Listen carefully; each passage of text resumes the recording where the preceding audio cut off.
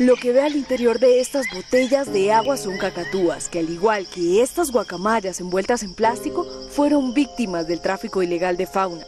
¿Se imagina usted siete o más horas compactado en un recipiente sin poder respirar adecuadamente?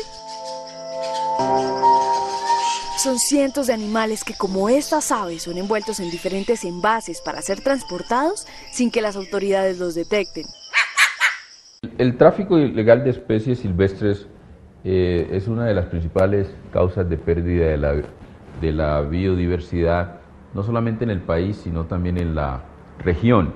Y sobre todo ese tráfico se incrementa en épocas eh, decembrinas, en enero, en épocas de vacaciones. Modalidades utilizadas por los traficantes que ponen en riesgo la vida de estas especies.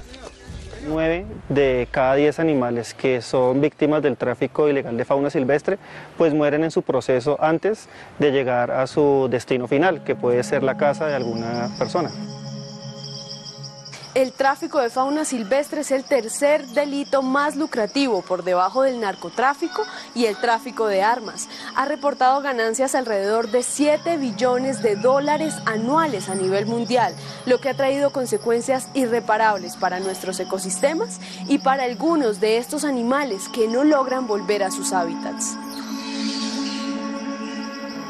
Abundan los casos como los de estos tres animales que dejan en promedio un 40% de la fauna destinada a estar en cautiverio. La lucha de las instituciones como el Ministerio de Ambiente, además de la policía, no para. Por el contrario, se ha fortalecido para combatir las redes criminales tras el tráfico silvestre. Hoy día estamos trabajando con caninos que son expertos en detectar este tipo de especies animales.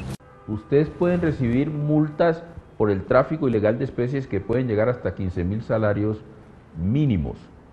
También son multas que le pueden generar a ustedes entre 30 y 90 meses de, de prisión.